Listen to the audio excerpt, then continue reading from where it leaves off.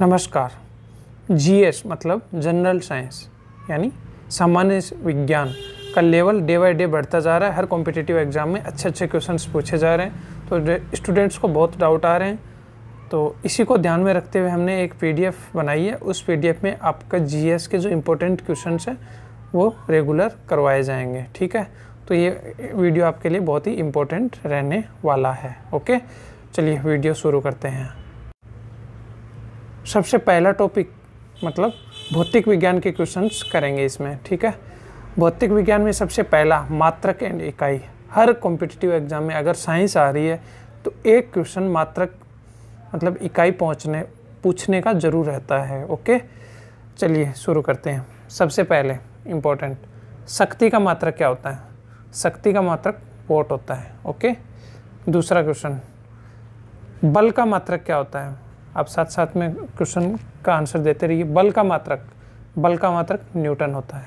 कार्य का मात्रक, कार्य का मात्रक जूल होता है। ठीक है? साथ साथ में आंसर देते रहना। इम्पोर्टेंट है सारे क्वेश्चन। चालक की विद्युत प्रतिरोधकता की इकाई ओम मीटर होती है। चालक की विद्युत प्रतिरोधकता की इकाई। ठीक है? प्रतिरोध की इकाई नहीं है, ये प्रतिरोधकता की इकाई है। प्रतिरोध की इकाई ओम होती है। ओके? फिर है प्रकाश वर्ष प्रकाश वर्ष को एंगस्ट्रॉम में मापते हैं जनरली ठीक है? एंगस्ट्रॉम। बट ये बोल रहा है प्रकाश वर्ष किसकी इकाई है? तो दूरी की इकाई प्रकाश वर्ष होती है, ठीक है? फिर है कि होता क्या है प्रकाश वर्ष? नेक्स्ट है, प्रकाश वर्ष क्या होता है? वह दूरी जो प्रकाश एक वर्ष में तय करता है। मतलब प्रकाश एक वर्ष में कितनी दूरी तय करता है? एक साल की है, इसलिए इसको प्रकाश वर्ष बोलते हैं, ओके? इसी प्रकार प्रकाश वर्ष होता है, उसी प्रकार पार्शिक भी होता है। एक पार्शिक जो तारों संबंधी दूरियाँ मापते हैं, तारों की डिस्टेंस और ही ज़्यादा होती है, इसलिए उसको पार्शिक में मापते हैं। ठीक है, ये कितना गुना होता है? ये प्रकाश वर्ष का 3.25 गुना होता है। तो पार्शिक बड़ा होता है सबसे, कितना गुना? प्रकाश वर्ष का 3.25 गुना। ठीक है? पार्शिक भी किसकी इकाई होगी? दूरी की। ठीक है? जैसे प्रकाश वर्ष है, वैसे पार्शिक है। पार्शिक तारों के डिस्टेंस के लिए यूज़ होता है तो ये भी दूरी की इकाई है। नेक्स्ट है, वह माप की कौन सी इकाई है, जो पॉइंट थ्री गुना होती है इंच और वो इंच प्राप्त होता है। मतलब कौन सी ऐसी इकाई है जिसको पॉइंट थ्री नाइन से गुणा करें तो इंच मिल जाएगा अपने को। तो सेंटीमीटर को, मान लो एक सेंटीमीटर को आप इंच में बदलोगे तो पॉइंट थ्री नाइन से मल्टीप्लाई कर देना, ठीक है? ये हो गया। अब है छः मीटर, सॉरी छः फीट लंबे व्यक्ति की ऊंचाई नैनोमीटर में कितनी है? नैनोमीटर होता है ten to the power minus nine, ठीक है? तो नैनोमीटर में करनी है अपने को। ओके? ओके तो इसकी इकाई, सॉरी, ये होगी 1.83 point eight three into two power seven nanometre, ठीक है? ओके ये हो गया। अब नेक्स्ट करते हैं। एक नैनोमीटर क्या होता है? एक नैनोमीटर होता है ten to the power minus seven ten to the power minus seven अगर आपको सेंटीमीटर में लिखना है मीटर में लिखना है तो ten to the power minus nine metre जो अभी मैंने जस्ट बताया है। ओके नेक्स्ट क्वेश्चन एम्पियर किसकी इकाई है? बहुत इंपॉर्टेंट क्वेश्चन है। एम्पियर किसकी इकाई का? विद्युत धारा। विद्युत धारा घर में जो धारा बहती है, जो समांतर क्रम में होती है, ध्यान रखना, पार्श्व क्रम भी बोलते हैं। ये क्वेश्चन बहुत बार पूछा जाता है, इसकी इकाई एम्पेयर होती है। स्टूडेंट को बहुत डाउट रहता है प्लीज़ ध्यान रखना। मेगावाट बिजली के नापने की इकाई है, उत्पादित की जाती है, ठीक है? मेगावाट बिजली के नापने की इकाई है, जो उत्पादित की जाती है। ठीक है, ये क्वेश्चन हो गए। अगला, आगे बढ़ते हैं। इंपॉर्टेंट है सारे क्वेश्चन प्लीज़ ध्यान रखना और पढ़ते जाना। इनको अपने को सही सुमेलित करना। चलो मैं थोड़ा सा छोटा कर देता हूँ, अपने को सुमेलित करने वाला है, ठीक है? ओके। पहला, त्वर्ण। त्वर्ण क्या होता है? ए ए से जिसको लिखते हैं ए होता है त्वर्ण, जो होता है मीटर प्रति सेकंड स्क्वायर, ठीक है? ये होता है। नेक्स्ट है बल। बल को पता है, न्यूटन में नापते हैं। फिर एक कार्य कार्य जस्ट अभी मैंने बताया है, जूल में नापते हैं। ठीक है? उसके बाद है आवेग। आवेग होता है बल इंटू वेग। ठीक है? तो न्यूटन बल हो गया, न्यूटन सॉरी बल का हो गया न्यूटन और टाइम।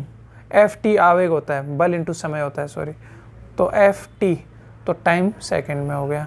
Next question. द्रव्यमान किलोग्राम में नापते हैं। घी किसमें तोलते हो? किलोग्राम में। तो द्रव्यमान हो गया। तो घी दूध खाते रहना, आर्मी में भर्ती होना तो। नेक्स्ट दाब। प्रेशर किसमें नापते हैं? पास्कल। ठीक है? पानी का दाब इतना पास्कल ऐसे ऐसे लिखा होता है। आप पाइप वगैरह पे किसी पे देखोगे तो। ठीक है? अगला क्वेश्चन बढ़ते हैं। वोट घरों में जो बिजली आती है वोट नापते हैं। किसकी इकाई वो? शक्ति की इकाई है। ठीक है? ओके नोट समुद्री जहाज़ की गति को नापने में काम लेते हैं, ठीक है? ओके नेक्स्ट है नोटिकल मील नौ संचालन में प्रयुक्त दूरी की इकाई है, ठीक है? नोटिकल नोट से ये नोटिकल बनाए तो पानी वाली चीज़ है। पानी वाली चीज़ कितने होगी? मतलब नाव है उसकी, ठीक है? नेक्स्ट है, अपनी कैलोरी कैलोरी उष्मा, याद रखना कैलोरी कितनी कैलोरी वैसे अपने जो डेली लाइफ में यूज़ करते हैं कि एक इंसान, स्वस्थ इंसान को इतनी कैलोरी खानी चाहिए, वो भी कैलोरी आती है और उष्मा का मात्रक भी कैलोरी होता है। ठीक है? ओके आगे बढ़ते हैं। सही सुमेलित करना है। वही सेम चीज़ है। जूल किसका? कार्य का। बहुत बार आज का इम्पोर्टेंट है। एम्पियर धारा का वोल्ट सामर्थ्य वोल्ट विभवान्तर ये वोल्ट है। वोट नहीं है। वोल्ट वोट ये होता है और वोल्ट वी होता है। जो विभवान्तर होता है। ठीक है? चलिए आगे बढ़ते हैं। आगे भी सुमेलित करने वाले ये नोट, जस्ट अभी देखा है, नोट किसका होता है? जहाज़ के चाल की, पानी वाले की बात है। एंगस्ट्रॉम, मैंने अभी जस्ट बताया, एंगस्ट्रॉम को ए के ऊपर ऐसे डॉट लगा के लिख देते हैं। एंगस्ट्रॉम होता है प्रकाश के तरंग धैर्य तरंग धैर्य की इकाई होती है एंगस्ट्रॉम। प्रकाश वर्ष दूरी मापने में पार्सेक भी दूरी मापने में प्रकाश वर्ष तो पार्सेक कितना होता है? पार्सेक इज़ इक्वल टू अभी आपको जस्ट मैंने बताया पार्सेक कितना होता है? प्रकाश वर्ष का थ्री पॉइंट टू फाइव गुना होता है। ठीक है? प्रकाश वर्ष का थ्री पॉइंट टू फाइव गुना, एक बार फिर से देख लेते हैं नेक्स्ट एक हॉर्स पावर याद रखना, घोड़े की पावर से नापते हैं हॉर्स पावर जैसे किसी मोटर, पानी की मोटर पे आप लिखोगे हॉर्स पावर लिखा होता है एसी पे हॉर्स पावर लिखा होता है। तो ये एक हॉर्स पावर किसके बराबर होता है? सात सौ छियालीस वोट के बराबर होता है। इंपॉर्टेंट है, बहुत इंपॉर्टेंट क्वेश्चन है। याद रखना, एक हॉर्स पावर सात सौ छियालीस, सात सौ छियालीस वाट सात सौ छियालीस वाट रट लो। ठीक है? अगला सुमेलित करने वाला क्वेश्चन उच्च वेग मैक ठीक है? उच्च वेग मैक होता है। तरंग दे रही एंगस्ट्रॉम ऊर्जा जूल सब आया हुआ है पहले। ठीक है? अगला क्वेश्चन देखते हैं। आगे इंपॉर्टेंट क्वेश्चन आ रहे हैं। तो चैनल को सब्सक्राइब ज़रूर कर देना, क्योंकि आपके लिए बहुत इंपॉर्टेंट है ये सब। Okay joule. ऊर्जा से, जूल क्या होता है? ये है, जूल ऊर्जा से उसी तरह संबंधित है जैसे पास्कल। पास, जैसे जूल क्या है?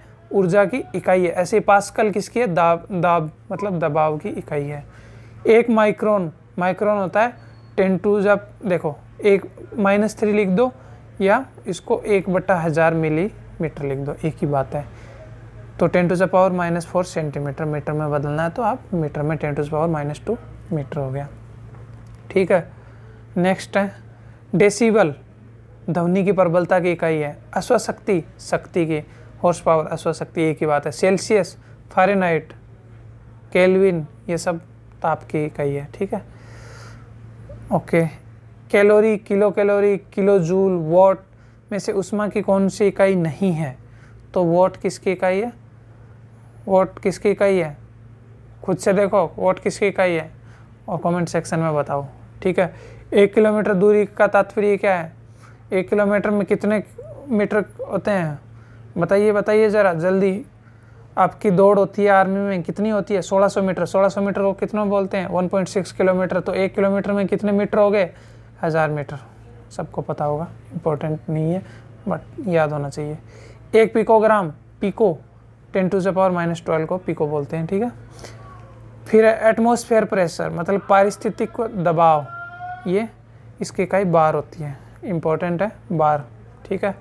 एक किलोग्राम प्रति सेंटीमीटर स्क्वायर दाब समतुल्य एक बार के बराबर होता है इंपॉर्टेंट क्वेश्चन है, याद रखना। सारे इंपॉर्टेंट क्वेश्चन है। तेल को किसमें, बैरल में नापते हैं?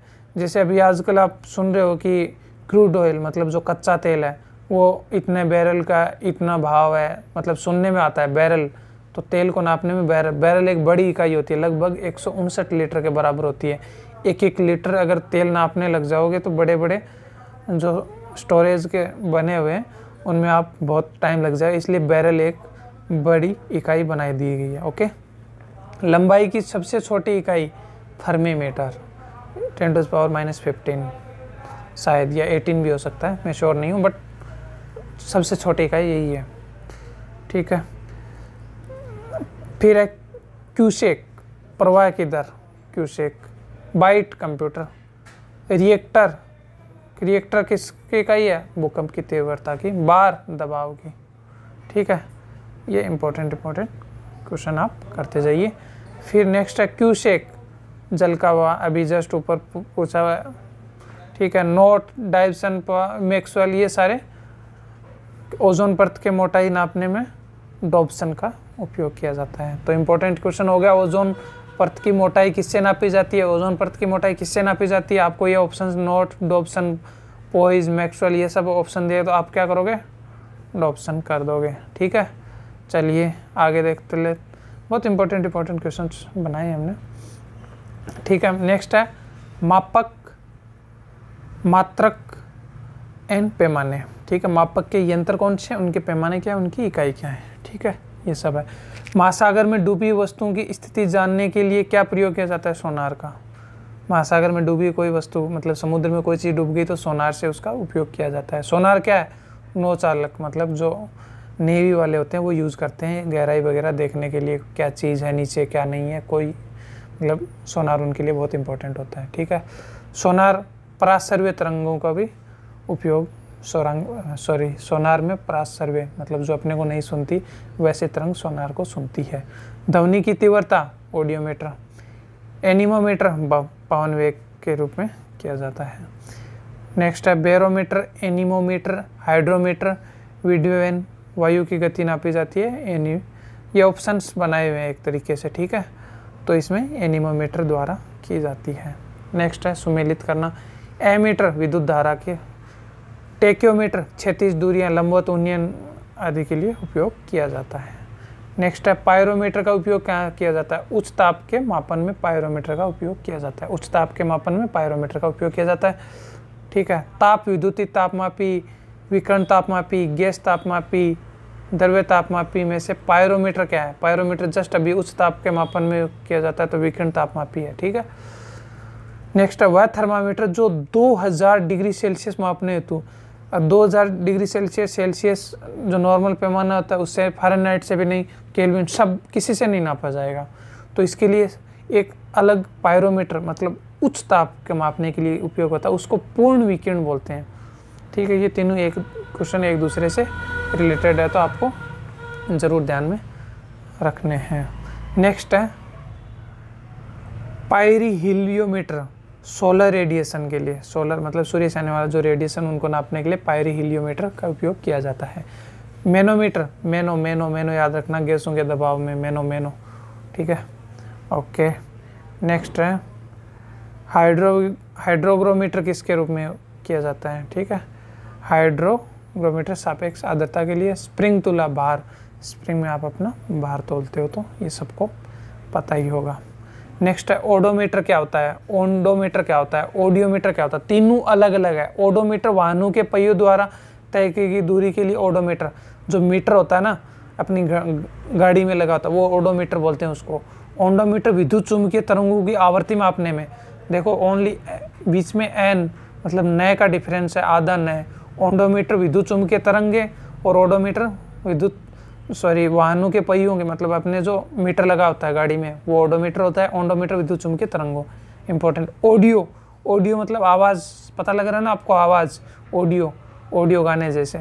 ध्वनि तीव्रता मापक युक्ति। ठीक है? याद रख लेना। नेक्स्ट इंपॉर्टेंट क्वेश्चन वायुमंडलीय दबाव को नापने में क्या बैरोमीटर अभी देखा। साधारणतः बैरोमीटर पारे में होता है। दूध का अपेक्षी घनत्व लेक्टोमीटर से नापते हैं। थर्मो थर्मोरेसिएटर क्या है? मतलब क्या काम आता है? तो जो इलेक्ट्रॉनिक थर्मामीटर की भांति होता है, ये भी थर्मो रेशिएटर ओके? ये इंपॉर्टेंट क्वेश्चन अपन ने यहाँ पे देख लिए हैं। ये क्लिक हो जाता है तो ये साइट पे चला जाता है। ओके? कोई बात नहीं, चलो आगे देखते हैं। अगला, सही सुमेलित का क्वेश्चन है। स्टेथोस्कोप, हृदय की ध्वनि सुनने के। ठीक है, रक्तचाप मापने के लिए क्या यूज़ करते हैं? स्पीनग्नोमीटर याद रख लेना, ये थोड़ा नाम आपको अलग सा लगेगा। कैरेटोमीटर सोने की शुद्धता, कैरेट, सोने की शुद्धता ऐसे होता है ना, बाईस कैरेट का सोना, चौबीस कैरेट का सोने का भाव, कैरेटोमीटर, आपको इजीली याद हो जाएगा। लैक्समीटर, प्रकाश की तीव्रता मापने, रक्तदाब किससे रक्तदाब किससे नापते हैं? ये जो अलग सा नाम है ना sphygmomanometer sphygmomanometer sphygmomanometer radar किसमें उपयोग होता है। रेडियो तरंगों द्वारा प्रकाश की स्थिति ज्ञात करने में रडार होता है। हिम नदी की चाल, जनसंख्या वृद्धि, भूकंप की तीव्रता, पृथ्वी के अंदर का तापमान में से रिएक्टर पैमाने पर मापी जाती है तो तो अंदर का तापमान भूकंप की तीव्रता से नापा जाता है। ठीक है? ओके। इसके नीचे कुछ क्वेश्चन और हैं। चलो वो भी देख लेते हैं। सुमेलित करना है। सेल्सियस ताप, किलोवाट आवर विद्युत। आर एच गुणांक रक्त होता है आर एच जैसे एक्स वाई ऐसे होते हैं ना, पुरुष स्त्री में तो वो आर एच गुणांक पॉजिटिव नेगेटिव होता है तो रक्त का होता है ये। रिएक्टर में आप भूकंप का ही। भूकंप ही क्या है? सिस्मोग्राफ सिस्मोग्राफ के यंत्र उपयोग किया जाता है। सिस्मोग्राफ रिकॉर्ड क्या करता है? बहुत साल। ये बार बार अलग अलग टाइप से क्वेश्चन आपको दिखाया गया है, ठीक है? ताकि इजीली आपको याद हो जाए। ओके नेक्स्ट है भूकंप। भूकंप का सिस्मोग्राफ देख लिया। ऊंचाई अल्टीमीटर प्रतिरोध ओम है। फेदोमीटर, समुद्र की गहराई बैरोमीटर वायुमंडलीय दाब अल्टीमीटर ऊंचाई इंपॉर्टेंट क्वेश्चन ज़रूर देखना फेदोमीटर क्या है समुद्र की गहराई किससे नापी जाती है फेदोमीटर समुद्र की गहराई फेदोमीटर सिस्मोग्राफ भूकंप बैरोमीटर वायुमंडलीय दाब बार बार में बार बार में लिखा गया ताकि अलग अलग तरीके से आपको याद हो जाए ठीक है नेक्स्ट सुमेलित करने वाला मैनोमीटर दबाव कार्डियोग्राफ हृदय की गति कार्डियोग्राम कार्डियोग्राम कार्डियोग्राम याद कर लेना ये क्वेश्चन बहुत इंपॉर्टेंट है आपके लिए ठीक है? फेनोमीटर का उपयोग ध्वनि की तीव्रता, झूठ का पता लगाना। आप झूठ बोलते हो कि हमने सारे क्वेश्चन सही के लिए उसका पता लगा लेंगे, हम किससे? हमारे पास पॉलीग्राफ होता है पॉलीग्राफ तो झूठ का पता लगाने के लिए पॉलीग्राफ झूठ का पता कब लगाया जाता है? जब कोई क्राइम वगैरह में जो आप सीआईडी वगैरह में देखते हो, झूठ का पता कराने के लिए वो पोली पॉलीग्राफ यूज़ करते हैं। पॉलीग्राफ बनता है ऐसा ऐसा ग्राफ बनने लग जाता है कि यहाँ सच बोल रहा है। तो ऐसे ही आपके मार्क्स वगैरह हम देखते रहते हैं तो ये ग्राफ बन जाएगा आपका भी, ठीक है? पॉलीग्राफ तो झूठ का पता लगाने के लिए पॉलीग्राफ का उपयोग किया जाता है ओके तो अब मुझे लगता है इतना यहीं पे अपने को रोक देना चाहिए, क्योंकि नेक्स्ट की वीडियो भी लंबा जा रहा है, आप भी बोर हो जाओगे। तो नेक्स्ट टॉपिक मतलब अगली क्लास सेकंड क्लास में अपने यहाँ से करेंगे, यांत्रिकी से, ठीक है? यांत्रिकी से सेकंड क्लास करेंगे। तो वीडियो पसंद आए तो लाइक कर देना। अगले वीडियो में मिलते हैं, तब तक के लिए टाटा बाय बाय